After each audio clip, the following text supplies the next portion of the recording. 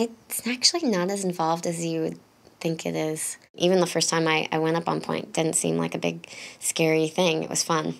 I look at ice skaters and that, that looks kind of daunting. They have to lug around a whole big boot with a blade on it. so I'd much rather be in a pointe shoe.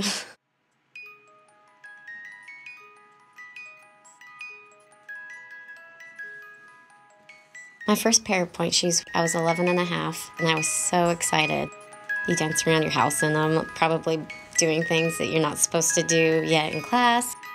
It's a big deal to young girls to get their first pair of pointe shoes. I think every girl in the company would say that their shoe is one of the most important things for each performance.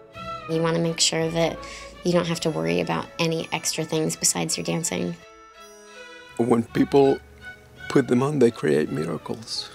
Sometimes I'm amazed to see that these ladies can put those shoes on and be in them from morning till night.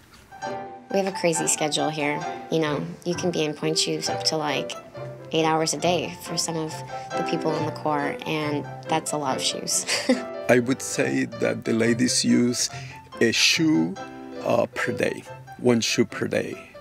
I tend to always sew a new pair of shoes for each performance. I like the way they fit right away and I know how they're going to look. First, I step on the box and I break the shank a little bit each way just so that you can see the arch of the foot.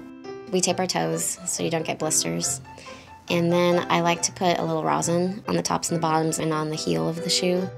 It creates a little friction so that you have a little grip and uh, your foot's not sliding around. Every time I go off stage, I, I add a little more on because you never know when you're going to fall. Sometimes all of a sudden in the middle of a ballet, one shoe will be dying. It just depends on what you're doing and how much impact you have on the shoe and how much you're sweating.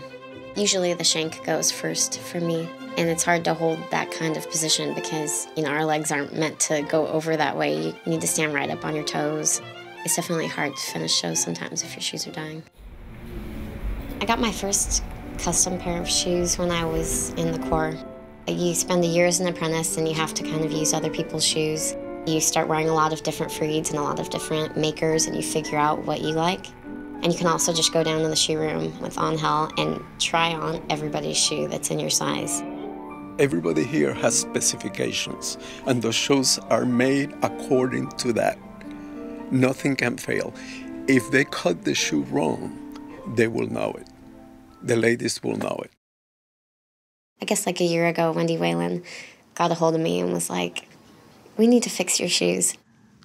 I remember my friend used to sew her shoes before class, and it would take her five minutes. she timed herself. It used to take me, when I very first started, like at least an hour. Yeah, I know. But then you'd wear the shoe for six months. Wendy helped me sew up my shoes so that they were cut down just the perfect amount on the sides and the back. So there's no extra bagging in the satin, which makes it really pretty nice and tight on your foot. What you're really going for is the nicest, cleanest line. See, that's okay. Look how much better that looks. Does it should be really tailored to your heel. We figured out what looked perfect on me and we fixed a shoe up and we sent it into Freed of London and they measured yeah. how much I wanted cut down and my shoe's perfect now. I love it. You definitely get attached to your maker. You don't know them, but you know your shoe and you know how it feels. A lot of people like to go meet their maker. We're making shoes almost since 1930s. So we're still carrying them on this traditional way, all handcrafted and everything the way it was then. Freed has like club or bell or crown, all these different symbols for who the maker is. Going from one maker to another is a huge difference. It can pull you back off of your toes or it can push you over too far. Each one of these makers make the shoes for different individuals.